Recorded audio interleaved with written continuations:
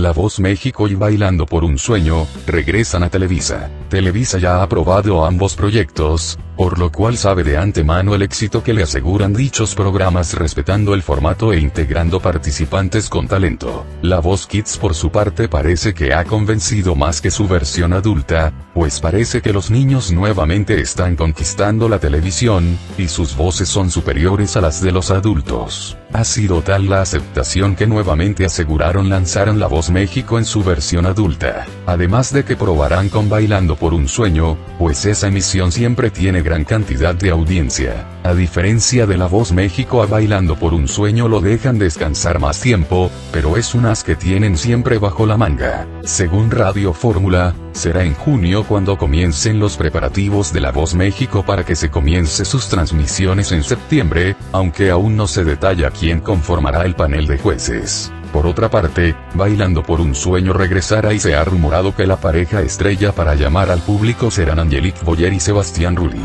Y Bailando por un sueño competiría directamente con el programa de Azteca México Baila, el cual también está programado para el transcurso de este 2017. Así que dos de los formatos que ha utilizado Televisa están confirmados para este 2017, pues la voz Kids le permitió a Televisa nuevamente traer la versión adulta, por los buenos resultados de la misma. Suscríbete para más videos.